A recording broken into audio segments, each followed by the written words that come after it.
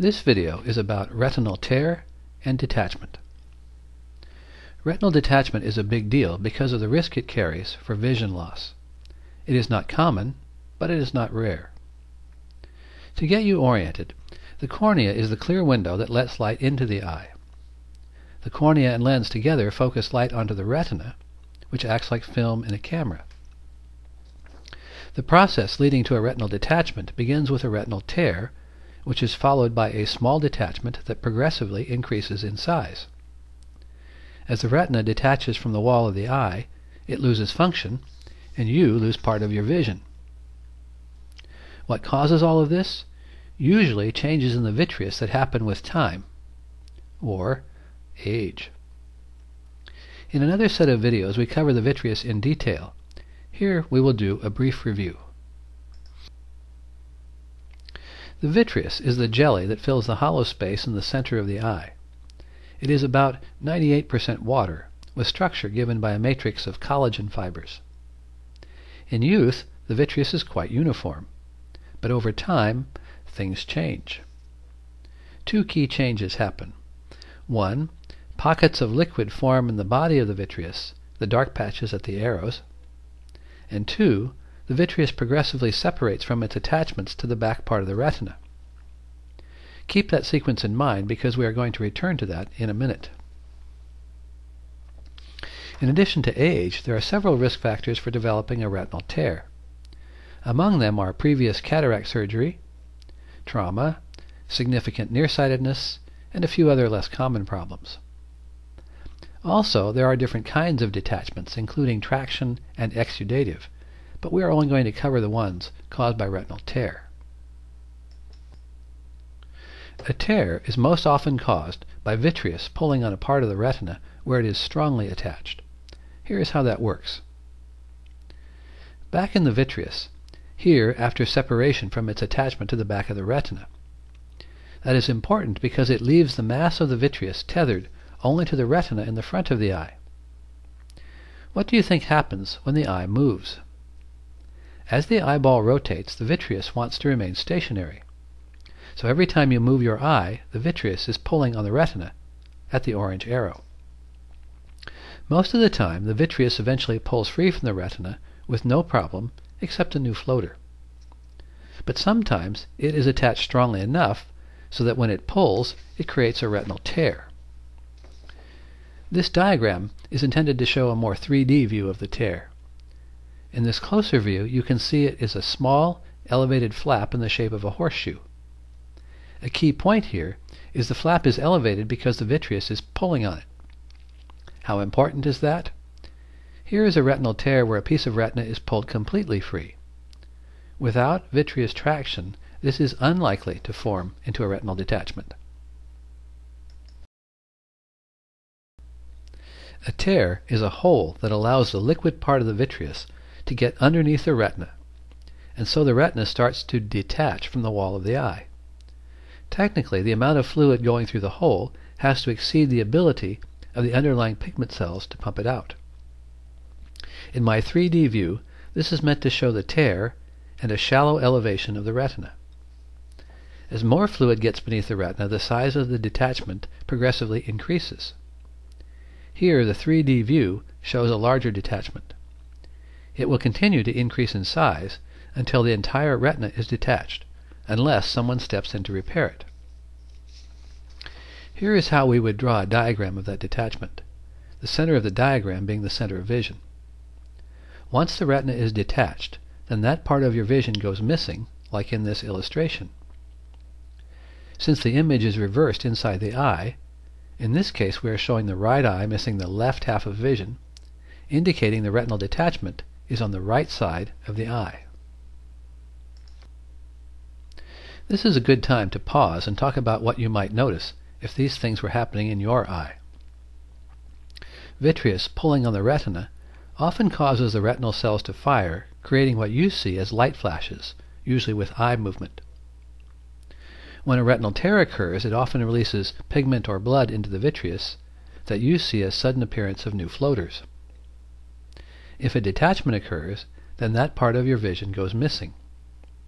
Should you experience any of these symptoms, you want to contact your ophthalmologist promptly. The sooner you get to it, the easier it is to repair. Now, how do we fix these things? This poses a range of problems, each treated in a different way, depending on the size of the detachment and the location of the tears. And retinal surgeons typically have their own favorite methods. We are going to cover the general concepts. Starting with the simplest case, a tear is relatively easy to treat. We are going to treat this tear with a laser, which is a concentrated beam of light, usually delivered through the same microscope we use to examine the eye. Here is our first pulse of laser energy hitting the retina. The light energy creates a burn, which creates a scar, effectively making a spot weld. We want to use enough laser spots to keep the retina welded to the wall of the eye, and so keep a detachment from forming. This means completely surrounding the tear. I have shown one row, but usually it is two or three rows of laser spots. Welding can also be done with a freezing probe or cryotreatment. In this case, the freezing probe is applied to the outside of the eye. It forms an expanding ice ball that encompasses the tear. The welding effect is the same as with the laser, but it is a little tougher on the eye. As we move from retinal tear to detachment, things become more complicated. There are three standard ways of repairing a retinal detachment depending on its size and location scleral buckle, pneumatic or gas bubble, and vitrectomy. Each of these techniques aims to get the retina back in position against the eye wall and weld it so it will stay put. With a detachment, there are two principal issues that have to be dealt with. One is the fluid that has accumulated under the retina, which is separating the photoreceptors from the pigment cells underneath, and two is the pulling of the vitreous on the retinal tear. Usually the traction has to be relieved, or the repair will not be successful.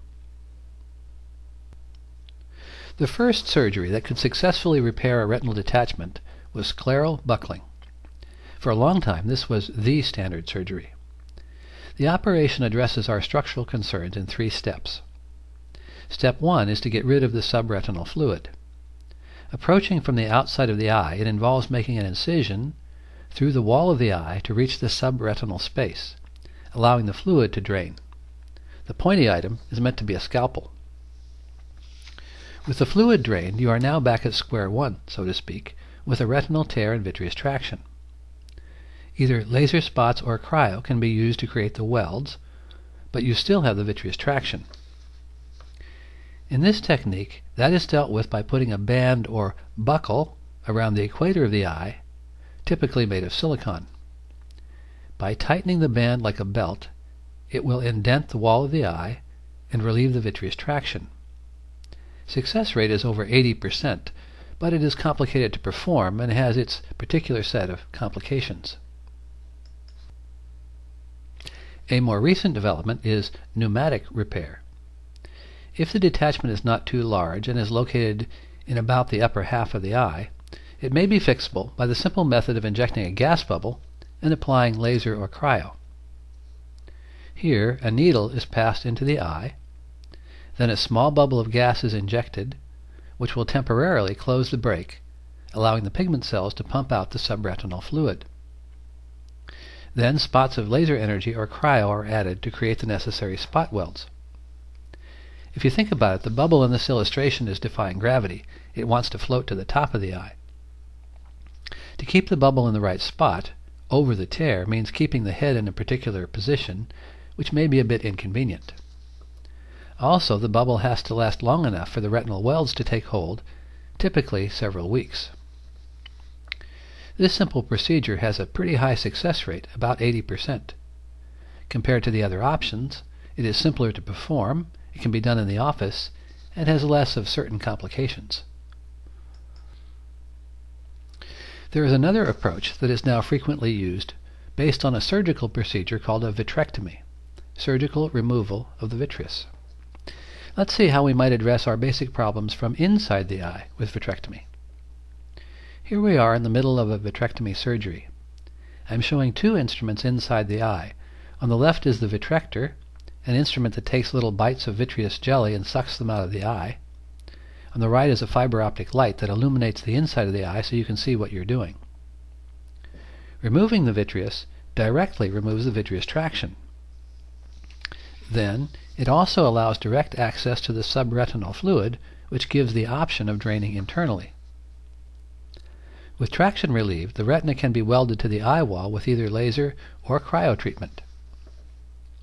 Finally, a gas bubble can be instilled to hold the retina in place and keep the tear closed, while the spot welds have a chance to form a strong enough adhesion. Like with the pneumo, the eye has to be positioned so the gas bubble is keeping the hole closed. In this case, vitrectomy allows for repair of the retinal detachment entirely from the inside of the eye without requiring placement of a scleral buckle. It has a high success rate, around 90%. A couple of notes. 1. I have only covered general concepts. I have not covered all the surgical techniques, for example, use of silicone oil, or specific complications of each procedure. That would require a lot more time. 2. This information is not to take the place of seeing your ophthalmologist. If you have any of the warning symptoms mentioned before, you should call your ophthalmologist promptly. To review, the process leading to a retinal detachment typically begins with a retinal tear, followed by a small detachment which progressively increases in size. A tear is relatively easy to treat using laser or cryo. Once the retina detaches, things become more complicated. There are three standard ways of repairing a retinal detachment. Each aims to get the retina back in position against the eye wall, relieve traction, and weld it so it will stay attached. Pneumatic or gas bubble is simplest to perform with few complications and a high success rate. Scleral buckle is a complicated three-step surgery with a high success rate but a few particular problems. Vitrectomy is a regular procedure for retinal surgeons. It is straightforward to perform and has a high success rate with few complications. It wasn't all that long ago that a retinal detachment meant lost vision for an eye. With current technology, surgical success rate is 80% or higher with one operation and around 95% with a second procedure. These are amazing steps forward in medical technology. There is a separate series of three videos that covers the vitreous and vitrectomy in detail. Here are selected references if you want to read further.